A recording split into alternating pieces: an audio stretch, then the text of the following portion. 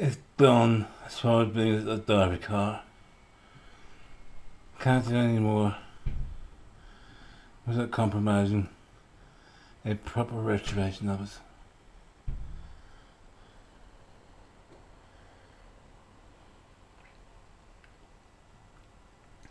Engine, no air cleaner again. Blah blah blah. Okay, got.